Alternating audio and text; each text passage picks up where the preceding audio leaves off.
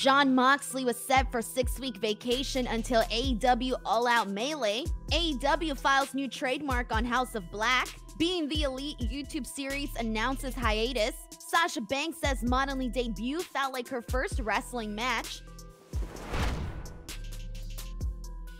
Happy Tuesday, everybody. You're watching the latest. Let's get right into today's wrestling headlines. Jon Moxley was supposed to go on a six week vacation after AEW All Out. Robert Anthony recently appeared on an episode of the Tyrus and the Timpf podcast recently and spoke about a fishing trip he and Moxley plan to take following the pay per view. He said, quote, he's pissed off and he's back at work and he cut a hell of a promo on Wednesday. We'll see where it goes. You know what I mean? It's just a lot of negatives in the positives over there. Dave Meltzer had written that Moxley had an angle plan that he sort of acknowledged on the air where he would be going on vacation to lead a return with emphasis. But that's out the window as it appears he, Chris Jericho, MJF, and Bryan Danielson will be the key stars carrying the company for now. Now, on to our next story. Being the Elite is on hiatus. BT's Twitter account Monday evening confirmed that the show would be going on hiatus. The long running show featuring the Young Bucks and other AEW personalities is usually posted on Monday morning. However, there was no episode this week. The last show to be put out was last week's episode, which focused on All Out Weekend. AEW has filed to trademark House of Black for wrestling purposes. The filing was submitted on September 8th, one day after reports were released that Malachi Black had received a conditional release from the company. Brody King, Buddy Matthews, and Julia Hart continue to be referred to as representing the House of Black on Monday's edition of Dark Elevation.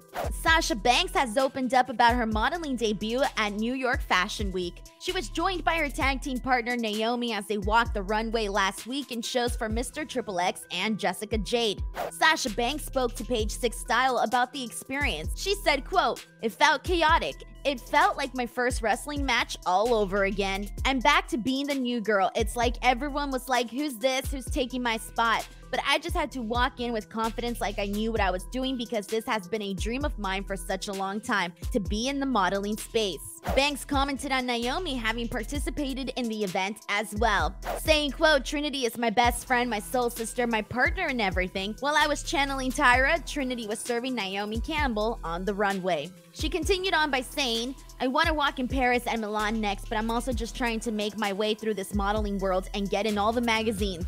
Vogue feels like a good start. Paul Triple H Levesque recently commented on the possibility of Sasha Banks returning to WWE during an interview with Ariel Helwani, in which he said, quote, there was a communication breakdown there for whatever reason. Starting back up that communication is not a difficult process, but it can be a process and you just have to go through the process. But she's an unbelievably talented woman who can just do about anything she wants. It just comes down to what does she want to do now. In another interview that Sasha Banks did, she did talk a little bit about what her future may hold. There are a lot of things coming up in acting right now. I'm really starting to focus my mind around music and the music realm and being kind of a director in space of creating a musical video piece. Well, that's it for me here today. Thank you guys so much, as always, for watching. Do not forget to give this video a like, subscribe to F4W Online, and if you want to chat more pro wrestling with me, you can. You can hit me up on Twitter and or on Instagram at underscore Denise Salcedo. See you guys on the next vid.